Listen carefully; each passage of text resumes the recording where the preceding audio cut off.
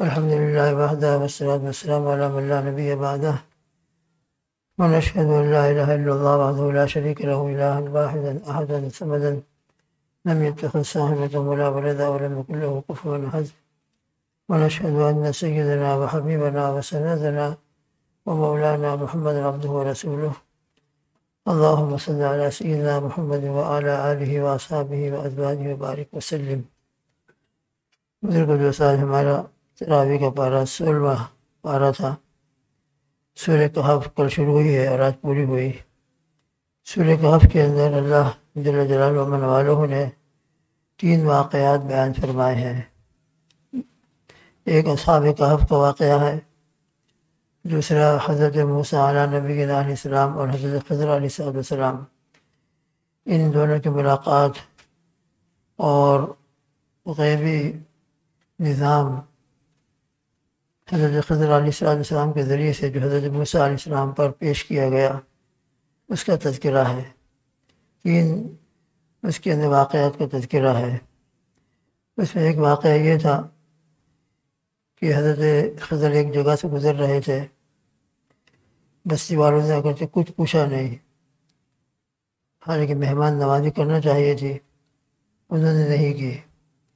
اسی جگہ پر ایک دیوار اور بول کو دیکھا کہ وہ گرنے کے قریب ہے۔ اس کو سیدھا کر دیا۔ اس کے اوپر اندر جو سوال جواب ہوتا اندر ہے، تین واقعات کے بعد حضرت موسیٰ علیہ السلام نے جب صبر نہیں ہوا، حالانکہ آپس کے اندر معاہدہ یہ ہوتا کہ تم خاموش رہنا، سوال مت کرنا۔ لیکن حضرت موسیٰ علیہ السلام سے خاموش رہنا مشکل ہوتا تھا، ہر مرتبہ سوال پیش کر دیتے تھے۔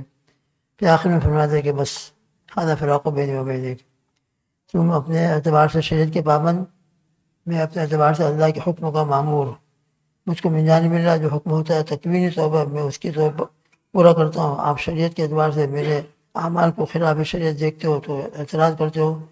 بس ہادہ فراق و بین و بین البتہ میں تم کو بتاؤں گا، یہ بات تم پر مخفی تھی میں نے جو جو کام کیے تین، یہ اللہ کے حکم سے تھے، اس کے اندر کیا حکمت ہے؟ میں ذرا سا تم کو اشارہ کروں گا۔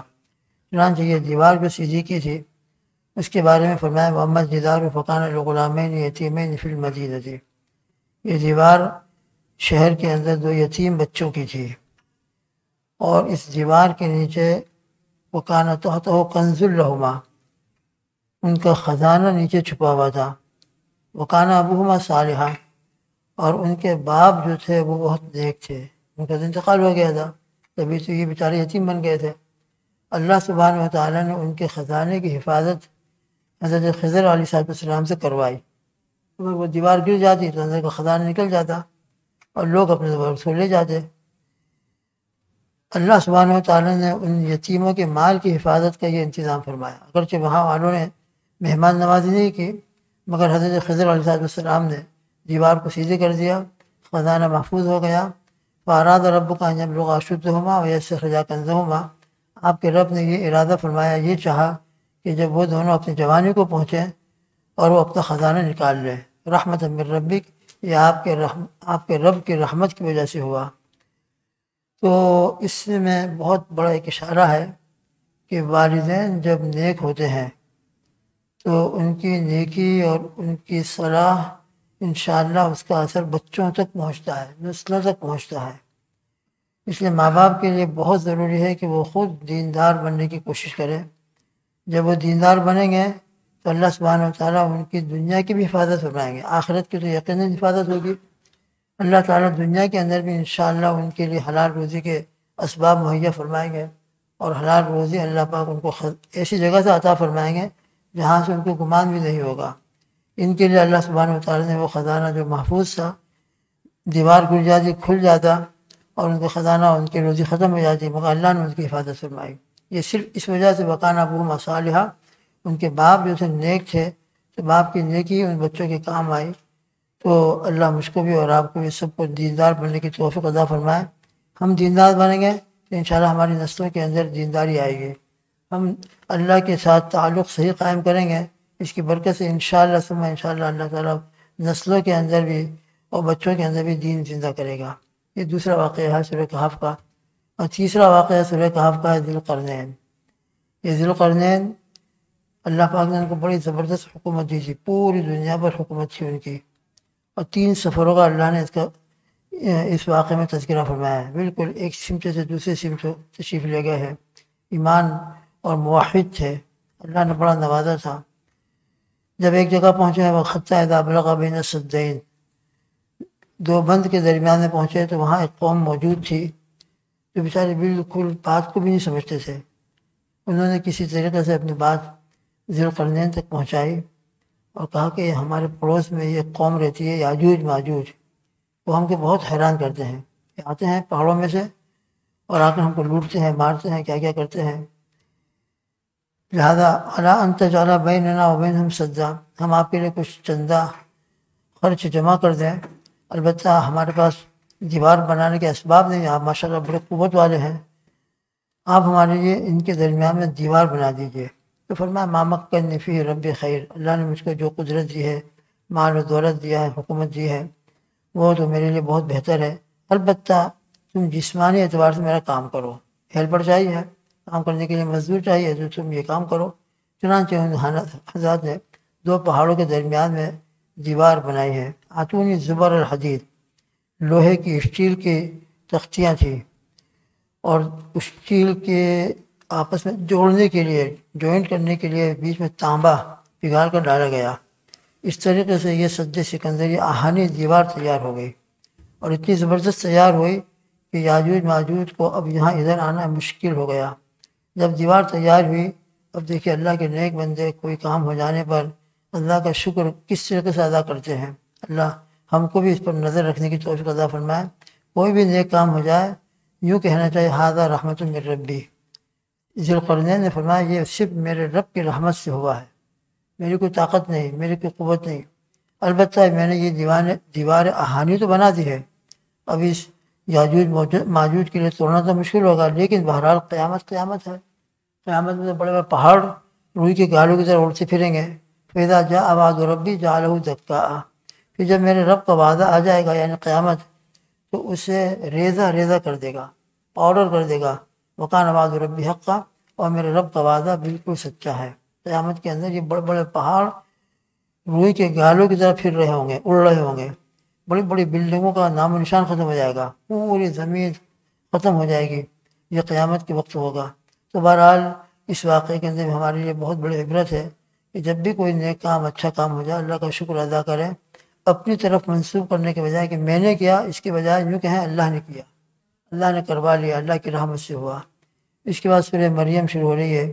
اس میں حضرت عیسیٰ علیہ السلام کا واقعہ بالکل ابتدائی کا، بڑی تفصیل سے بیان کیا گیا ہے۔ موقع نہیں ہے ٹائم نہیں ہے۔ اس کے اندر بڑی زبردست۔ اس سے پھر حضرت ذکری علیہ السلام کا واقعہ کا ذکر کیا ہے۔ ان دونوں واقعات کے اندر ایک بات آئی ہے۔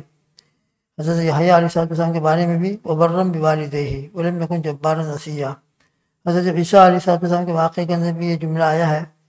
وبرم بھی والدتی علم جبار شقیہ دونوں واقعات کے اندر حضرت یحییٰ علیہ السلام، حضرت عیسیٰ علیہ السلام، ان دونوں نے اپنی صفات کو بیان کرتے ہوئے یا حضرت یحییٰ علیہ السلام کی صفات بیان کرتے ہوئے اللہ نے فرمایا ہے کہ بہت نرم دل تھے، بہت نرم دل اور بہت متقی تھے اور اپنے ماں باپ کے بے انتہا فرم بردار، حد سے زیادہ وبرم بھی والدی نیکی کرنے والے۔ یہی حال حضرت عیسیٰ علیہ السلام نے فرمایا وبرم بھی والدتی اللہ نے مجھ کو جو صفات دی ہے ان میں ایک صفت یہ ہے کہ میں اپنے ماں باپ کا، اپنے والدہ کا، ان کی تو والدہ ہی تھی، ان کے والد تو تھے نہیں، مگر باپ کے اللہ نے قدرت سے پیدا فرمایا۔ تو مجھ کو میری والدہ کا فرما بردار بنایا ہے مجھے سرکش بدبخت نہیں بنایا۔ اس لیے انسان کی بڑی سعادت مندی یہ ہے کہ وہ ہمیشہ اپنے والدین کے سامنے جھکا رہے۔ کل بھی پندرہویں پارے کے اندر وقضا رب کا اللہ تعبد اللہ یہ کے اندر یہ آیا ہے کہ جو اپنے ماں باپ کے سامنے جھکے رہو بالکل۔ اونچی آواز سے بات تک مت کرو۔ کبھی تمہاری آواز بھی ان کی آواز سے بلند نہ ہو۔ کبھی ان کے ساتھ غصے کے لہجہ نہ ہو۔ نرمی کا لہجہ ہو۔ اور ہمیشہ ان کے لیے دعا کرو۔ وقف الرحمٰ جنا حضر من رحمتی وقر رب الحمہ کا رب بیان صغیرہ فرمایا کہ بالکل ان کے سامنے جھکے رہو وقضا رب کو اللہ تعبد اللہ تیرے رب نے حکم دیا ہے عبادت مت کرو مت کرو مگر اللہ ہی کی اور والدین کے ساتھ حسن سلوک کرو اما اب لوگوں نے آئندہ کر کے برا احد ہما قلعہ ہما اگر تیرے سامنے ان میں سے کوئی ایک یا دونوں بڑھاپے کو پہنچ جائے فلا تق الحمہ افن تو ان کو اف تک نہ کہو یہ یعنی کوئی بھی ایسی جملہ نہ ہر لینگویج کے اندر کوئی ایسے جملے ہوتے ہیں کہ جس سے سامنے والے کی بے ادبی ثابت ہوتی ہے کہ ہم اس کی بے ادبی کر رہے ہیں رسپیکٹ نہیں کر رہے ہیں۔ تو ہر لینگویج کے اندر ایسا جملہ کہ جس سے ان کی بے ادبی ہوتی ہو، وہ جملہ ہرگز نہ کہو۔ ولا تنہرما اور کبھی ان کو مت جھڑکو۔ کسی بات کے اوپر ان کے سامنے ایسا جملہ ایسا لہجہ اختیار نہ کرو کہ تم ان پر غصے ہو رہے ہو۔ ایسا لہجہ بھی اختیار مت کرو۔ وق الحمہ قول کریمہ بلکہ ان سے تعظیم والے، ادب والے لہجے میں بات کرو۔ وقف الحمہ جنا حضب المن الرحمتی، اور ان کے سامنے نرمی سے عاجزی کے ساتھ کندھے جھکائے رکھو۔ وقل رب الحمہ کما رب صغیرہ، اور ہمیشہ ان کے لیے دعا کرتے رہا کرو کہ میرے پروردگار ان دونوں پر رحم فرمائیے، جیسا کہ انہوں نے بچپن کے اندر مجھ پر کیسی شفقت فرمائی تھی اور کس طریقے سے مجھ کو میری پرورش کی تھی۔ بہرحال یہ اولاد کی بہت بڑی سعادت مندی ہے کہ وہ اپنے ماں باپ کا متی و فرما بردار ہو، محبت کی نظر سے دیکھے۔ ایسا نیک فرما بردار بچہ ہے جب اپنے ماں باپ کو ایک محبت کی نظر سے دیکھتا ہے، اللہ تعالیٰ اس کو ایک مقبول حج کا ثواب عطا فرماتے ہیں۔ اب دن میں چاہے سو مرتبہ دیکھ لو تو سو حج کا ثواب ملے گا۔ اللہ کی رحمت میں کوئی کمی نہیں ہے۔ حضرت عمر نے یہ فرمایا کہ اللہ کے رسول ایسی بات ہے تو بہت دیکھیں گے۔ کہا کہ دیکھو، جتنی مرتبہ دیکھو، وہاں تو اللہ کے رحمت کے خزانے لامحدود ہے وہاں کیا کمی ہے؟ اللہ ہم سب کو اپنے والدین کے لیے متی فرما بردار بنائے، انتقال ہو گیا کہ ان کے لیے خوب دعائیں کریں خوب اشارے ثواب کرتے رہیں زندہ ہے تو خوب ان کی خدمت کریں اللہ پاک ہم کو سب کو عمل کی توفیق عطا فرمائے۔ پھر سورہ تاہا کے اندر حضرت موسیٰ علیہ صاحب السلام کا واقعہ بڑی تفصیل سے بیان کیا ہے۔ تقریباً چھ، پانچ، چھ رکو تک چلا گیا ہے وہ پورا واقعہ۔ عجیب و غریب اس کے حالات ہیں، کیا کیا ان پر حالات گزرے تھے۔ ان کا تذکر آیا ہے۔ بہرحال، یہ آج کے پارے کے اندر بہت سارے انبیاء علیہ صاحب السلام کا ذکر خیر ہوا ہے۔ ان کے اوصاف کا ذکر کیا ہے۔ انبیاء علیہ صاحب السلام بہت مقدس جماعت ہوتی ہے اور اللہ کے بہت مقرب بندے ہوتے ہیں۔ ان کے اندر جو صفات ہیں، وہ صفات ہمارے اندر پیدا کرنے کی ہم کوشش کریں۔ انشاءاللہ، ان صفات کی وجہ سے اللہ تعالیٰ ہم کو اپنا مقبول بندہ بنائیں گے حضرت بیام علیہ السلام کی صفات بیان کی ہے، حضرت موسیٰ علیہ السلام کی صفات بیان کی ہے۔ حضرت اسماعیل علیہ السلام کے، حضرت عزیز علیہ صاحب السلام کے اور انبیاء علیہ السلام کے ذکر خیر ہے۔ اللہ تعالیٰ ہم کو سب کو قرآن پاک سے ہدایت نصیب فرمائے اور رب الجلال اپنے فضل سے اپنی رحمت سے ہمارے لیے قرآن پاک کو ہدایت نامہ بنائے۔ ہمارے سیام و قیام کو قبول فرمائے، رمضان کو ہماری زندگی کے تبدیل ہونے کا اللہ سے تعلق پیدا ہونے کا ذریعہ بنائے۔ اللہ آمین۔ سبحان اللہ بحمدہ سبحانک اللہم بحمدک و نشہد و لا الہ الا انت۔ نستغفرک و نتوب الیک۔ وصلى الله تعالى على خير خلقه محمد وآله وأصحابه وأزواجه أجمعين. سبحان ربك رب العزة عما يصفون وسلام على المرسلين والحمد لله رب العالمين. برحمتك يا أرحم الراحمين.